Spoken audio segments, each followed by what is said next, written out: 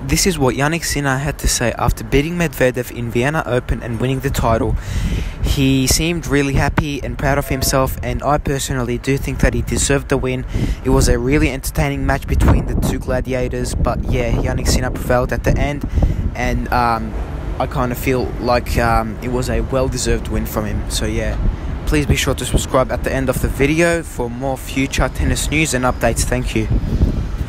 I had a lot of break points, I couldn't use them, and then at the end I, I used them, so I'm very happy. And obviously, you know, to finish the match, it was a really mental mental thing, but I'm very happy about how how I managed today, and, and obviously very happy for another title.